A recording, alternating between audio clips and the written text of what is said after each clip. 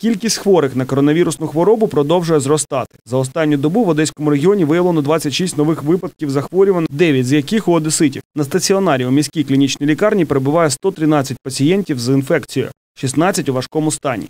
За даними Одеського обласного лабораторного центру МОЗ України, на ранок 22 липня в Одеській області зареєстровано 2661 випадок хвороби, 1140 людей видужали.